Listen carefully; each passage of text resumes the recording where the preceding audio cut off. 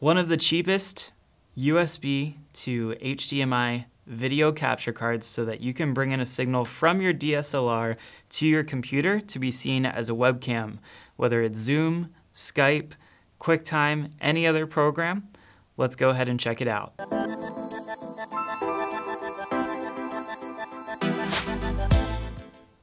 Hey everyone, my name is Zephan Moses Blacksburg and welcome back to another video on this time video capture devices. Now these little devices have become super popular and so if you're wanting to learn a little bit more about live streaming, about bringing in professional quality video to your computer as seen like a webcam, then make sure to hit that subscribe button below and like this video to let us know that you want to see more content just like this.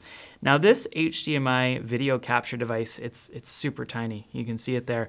This came from Amazon and the company that made it is Mavis Link. I actually buy other products from them because they make really great HDMI fiber cables for longer cable runs than 25 feet. I actually have 75 and 100 foot long HDMI fiber cables from them. So I really do like that manufacturer, but you're gonna find these pretty much from hundreds of different companies at this point in time because these things exploded on the scene.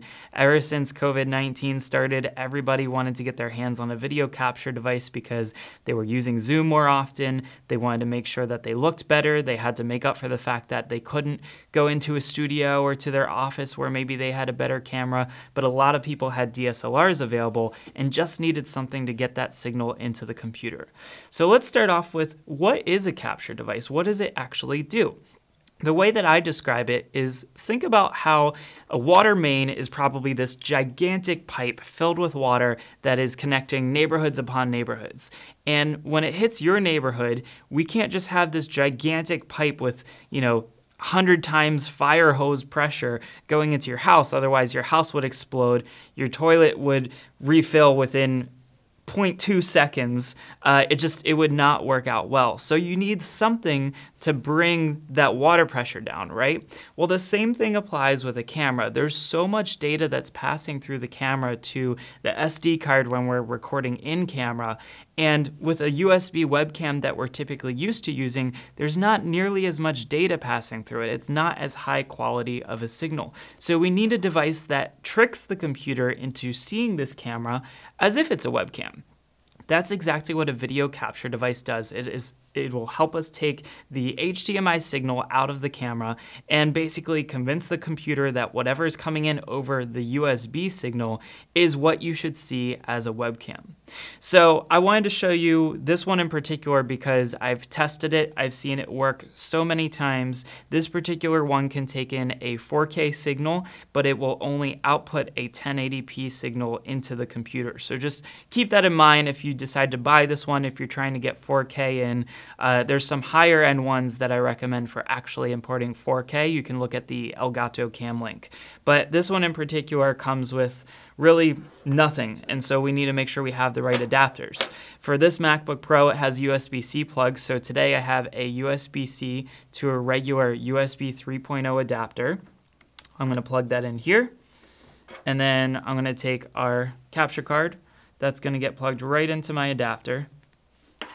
And then with this particular camera, this is the Canon EOS R. This has a mini HDMI. This is a big mistake a lot of people make is not all cameras have a full-size HDMI cable, so you need to make sure that you're getting the right one. This one in particular being a mini HDMI, the easiest way to check is to go ahead and open up that port and take a look at it and compare it in size to the full-size HDMI input on the capture device. And if it's smaller, then it's pretty obvious it's a mini HDMI. So this cable, it's pretty short, uh, maybe two or three feet, but this is a mini HDMI to full-size HDMI. So I'm gonna take this into our camera and then output this to our capture card.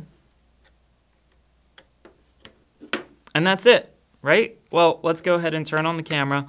Let's check, make sure things look okay. The first place I'm gonna go is QuickTime.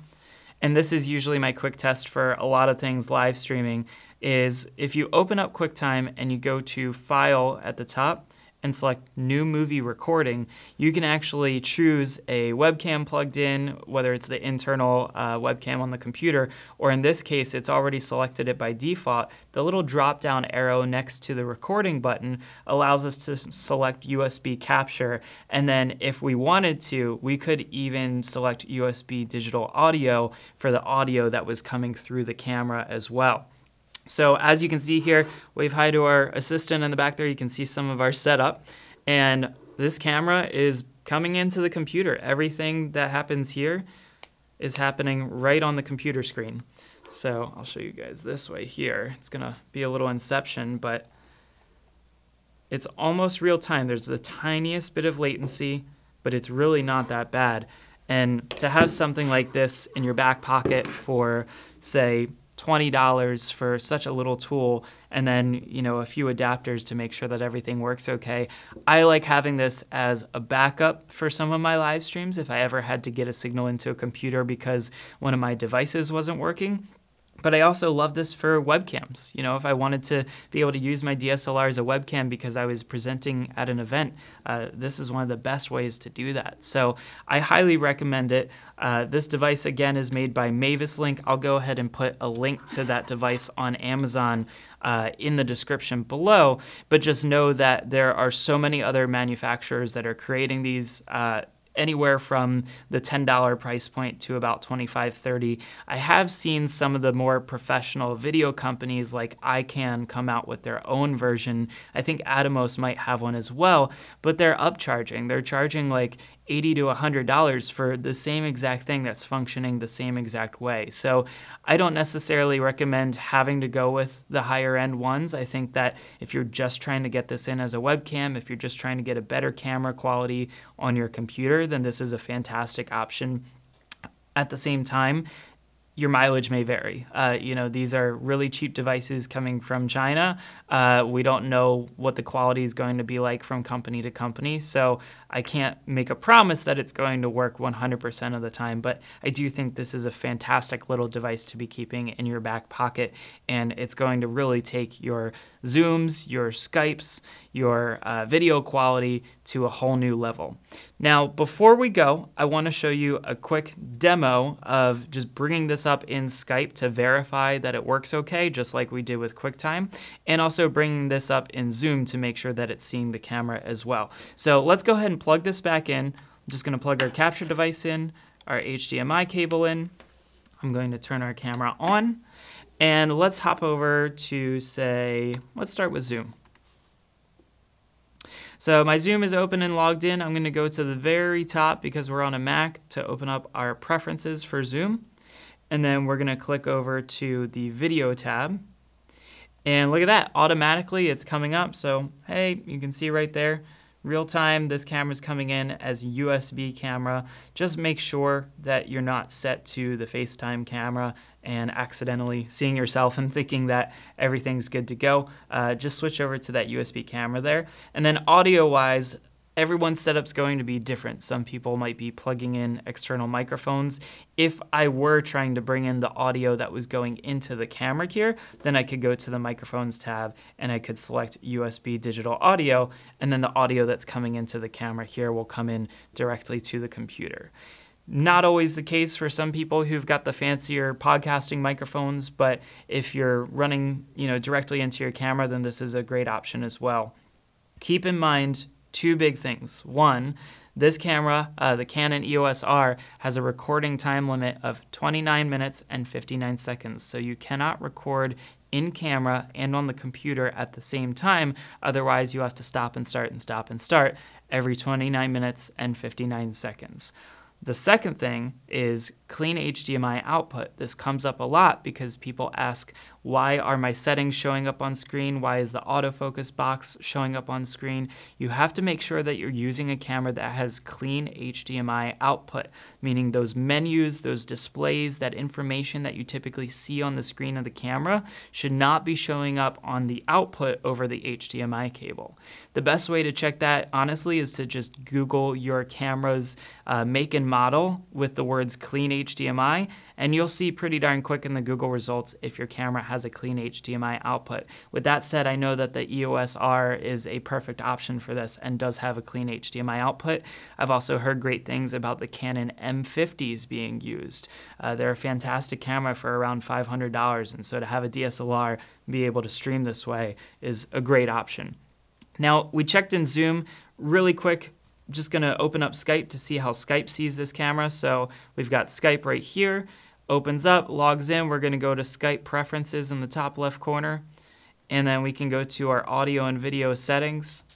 And again, by default, it is showing up that it's already got the USB camera selected. So you can see there and verify it.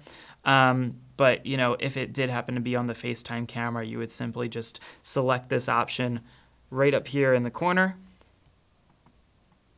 and hop over to the USB camera. Same thing goes for audio. Microphone down here below. Right now it's using my built-in MacBook Pro microphone. I would have to change it over to USB digital audio to be using the audio coming out of the camera.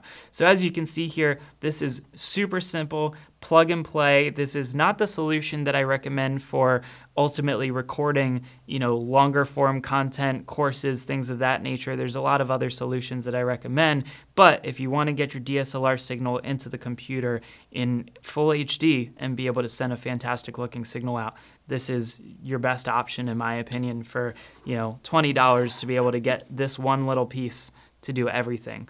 So if you like this video, again, make sure to hit that subscribe button, hit the thumbs up if you want to learn more about devices just like this or some live streaming tips and advice, and we'll see you again in the next video.